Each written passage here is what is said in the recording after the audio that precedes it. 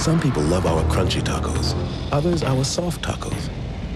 Now Taco Bell introduces the Double Decker Taco. Our delicious original taco joined with beans and a soft tortilla. It's the taste big enough to bring the two sides together.